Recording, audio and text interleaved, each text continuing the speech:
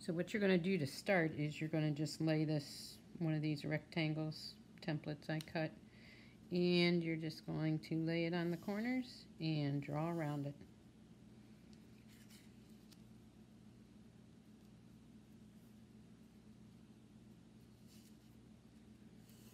Doesn't have to be perfect.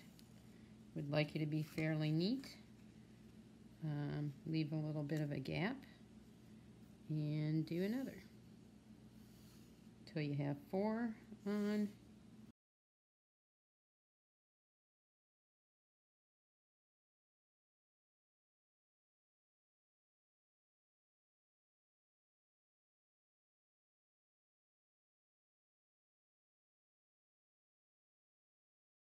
I have my paint laid out. I'm working with analogous colors, so yellow, green, darker green into blue. I have water cup. I have a selection of brushes and I have a paper towel. All very important when working with watercolor. You have to control the amount of water and pigment going down. So I'm going to start with this flat brush on this one because all I'm doing is a wash and I'm going to blend between my colors. So I activate my paint, which this is already wet out of the tube, so not much to do there. And I'm going to start with some water.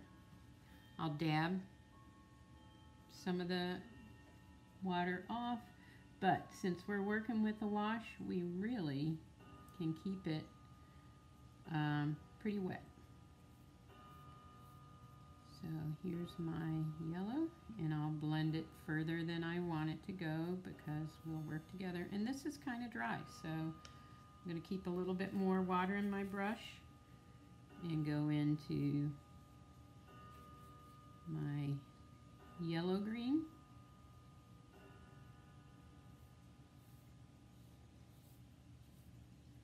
Again, my brush is drying out since this is wet on wet. I'm going to keep it pretty wet.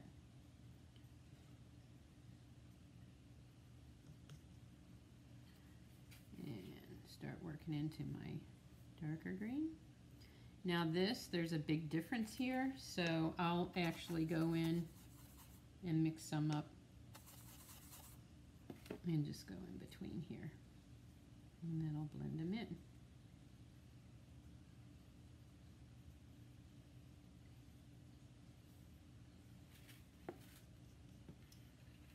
I'm going to do the same thing. I'm going to go with my green and I'm going to pull a little bit of blue in it.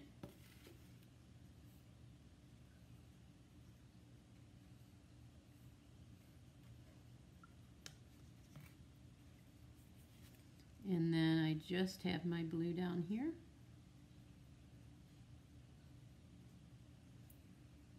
Now to get even smoother transitions, you can start with um, your section wet already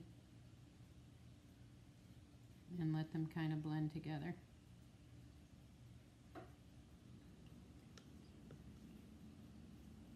What you notice with watercolors is sometimes when you go over it, it'll start lifting up. So I'm gonna, you need to work quick or have your water all wet there first. So I'm going to go back, clean my brush up really good, and go back into my yellow. Since yellow is such a light color, sometimes when you are working with those lighter colors, yellows and oranges, you'll want to even change your water between them. But there we are. Wet on wet. Let the water move the paint in between. Mix them a little bit in between to get your smooth transitions.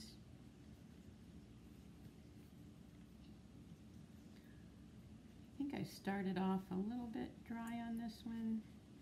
So watercolor, the key and what you're learning to do is learning about the amount of water for certain effects that you need and the amount of pigment.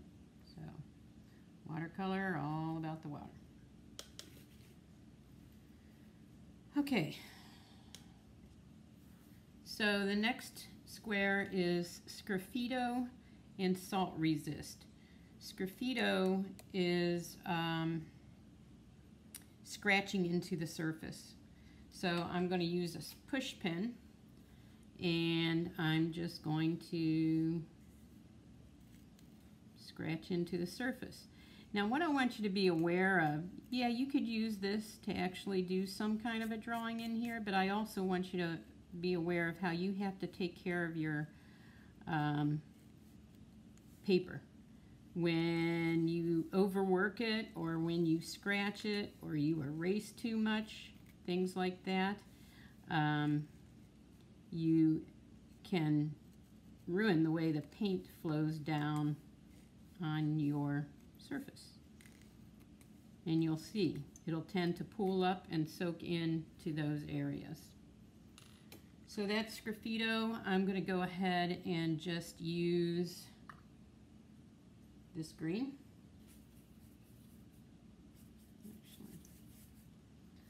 And I'm going to go right over it. And you'll see how it's getting dark. So it can be a really cool effect here where you reveal some art. Uh, it can also be a real issue when you mar your surface and you have the paint uh, getting heavier in that area. Okay, um, so that's Sgraffito. The next thing is salt resist. Salt resist, you have to put the salt in while the, the paint is wet. You can't have it get too dry.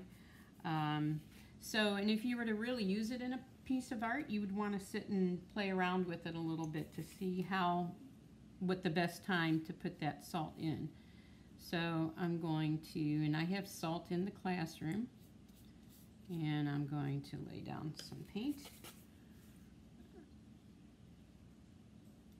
This is a new paint that I'm using, this Koi, and it's got a lot of pigment to it. I like it, but it's a little bit different than the others, so I'm having a hard time figuring out exactly how much to water to use myself. So now I'm going to get the salt. Put a little bit in my hand. Instead of just pouring it on there, I want to control it. And I'm going to just sprinkle it.